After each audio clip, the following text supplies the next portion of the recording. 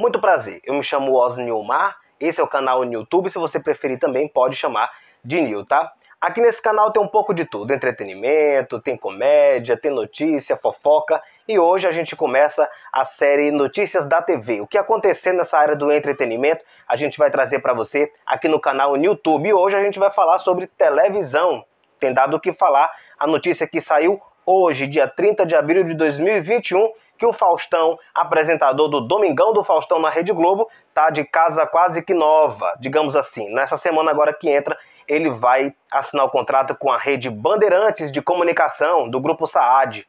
Será se vai dar certo lá na Band? Na realidade, foi lá onde ele estourou em todo o Brasil.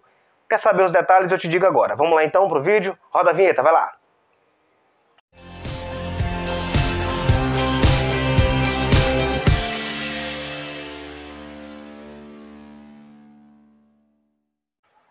A notícia saiu hoje por volta de mais ou menos 10 e meia da manhã. Aí depois, às duas e meia da tarde, já foi atualizada a notícia. Mas todos os meios levam de fato que o Faustão deixa esse ano de 2021 a Rede Globo de televisão. O último programa dele vai ser dia 26 agora de dezembro desse ano de 2021. E a partir do ano que vem, de janeiro do ano de 2022, ele já passa aí então a estrear na rede Bandeirantes. Isso vai dar o que falar que você não tem ideia. A notícia saiu hoje mais ou menos assim, ó. Em contagem regressiva para deixar a Globo, o apresentador Fausto Silva assina na próxima semana o contrato de cinco anos com a Band, valendo a partir de 2022. O jornalista e apresentador do Domingão do Faustão, que trabalhava desde os 14 uh, e completa 71 anos domingo agora dia 2, vai apresentar um programa semanal no início das noites de domingo ou um programa diário, encerrando o horário nobre da programação da TV Bandeirantes. Será o retorno do Faustão, provavelmente o maior salário da TV brasileira nas últimas décadas. A emissora que o projetou nacionalmente nos anos de 1980, atraindo, claro, o interesse da Rede Globo de televisão. O motivo dele ter saído da Globo é porque a Globo queria tirar ele dos domingos e colocar para um horário mais tarde, segundo o que a gente entendeu aqui. Ou supostamente que ele ficaria durante, durante a semana, um programa aí durante a semana, e ele não aceitou. E também, né, o Cascai podia ser menor, né? Podia não, ia ser menor do que o que ele ganha hoje atualmente na Rede Globo. E quem tem essa, essa coisa de ganhar dinheiro não quer saber de diminuição, quer saber de aumentar. Tô certo ou tô errado?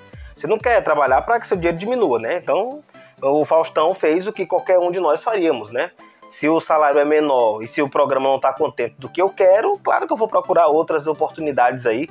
E a Band foi lá e agarrou essa oportunidade para ela, que eu creio, no meu ponto de vista, que vai ser uma boa para a Band, né? Já que o Faustão tem aí um bom, digamos assim, um bom desenvolvimento nessa parte de merchan, essa parte de comercial dele também é muito boa e é muito grande, né? Como todo mundo sabe, que o Faustão é o cara que consegue trazer muito comercial, muito merchandising pro programa dele na televisão brasileira. Então, tipo assim, é um programa que vai dar o que falar com certeza, por ser numa emissora de nível nacional também.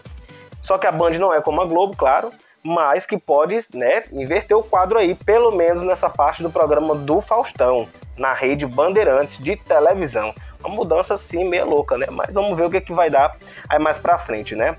Então, a notícia continua dizendo o seguinte, que no final de janeiro desse ano, conforme Notícias da TV, que é um site de fofoca, antecipou que Fausto Silva decidiu não renovar mais o contrato com a Globo. Ele não aceitou a proposta da emissora de migrar para as noites de quintas-feiras com uma projeção de faturamento menor, como eu falei agora há pouco. Dias antes, a Globo havia aí lhe informado que vai mudar sua programação dominical no próximo ano, no ano de 2022, como, por exemplo, o futebol, que vai começar a partir das 18 horas. Ah, e que o Domingão do Faustão não estaria mais nessa grade, portanto, do domingo. Claro, é um descontentamento total, porque a maior concorrência dele era, no caso, aí no domingo, né? Aí onde tem vários programas nacionais que a gente já conhece. Na época, o apresentador disse ao site que iria passar uma boa temporada viajando ou se empregar em outra emissora, o que de fato aconteceu agora, que o grupo Saad foi lá, na pessoa do João Saad, e puxou o Faustão para a rede Bandeirantes. Segundo o João Saad, que é um dos donos da rede Bandeirantes, disse que era um sonho antigo já de ter o Faustão de volta à grade de programação da TV Bandeirantes, que eu, no meu ponto de vista, mais uma vez, dando a minha humilde opinião sobre o que está acontecendo, eu acho também que será uma boa para a Band, tanto em termos de mechan, tanto em termos da parte comercial, como também na parte de visibilidade da Band. Não que a Band esteja precisando de visibilidade, muito pelo contrário. A Band é bem diferente das demais, como a gente sabe, mas também tem o seu espaço aí na mídia brasileira, certo?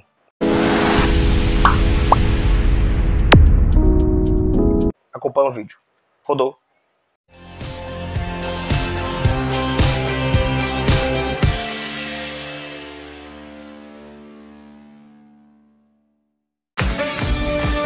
TV Bandeirantes confirmou na tarde desta sexta-feira, dia 30, a contratação do apresentador Fausto Silva. Faustão anunciou que não seguirá trabalhando na Rede Globo após o término de seu contrato, no final de 2021. Faustão esteve na grade da emissora por 33 anos. Em relação às notícias publicadas hoje que anunciam o retorno de Fausto Silva à Band em janeiro, a emissora informa que uma vez com confirmado, trata-se de um sonho antigo do grupo Bandeirantes, que sempre admirou seu caráter ético, seu talento e seu jeito de inovar e fabricar sucesso, diz a nota da TV Bandeirantes. Aqui na Band, Fausto Silva sempre foi muito querido e durante os anos de Globo nunca perdeu a amizade de 40 anos com os irmãos João e Ricardo Sede. Quando saiu da Band, só deixou muitos amigos e grandes lembranças, afirma o jornalista jornalista passou pela Band em 1986 e 1989, quando apresentou Os Perdidos na Noite.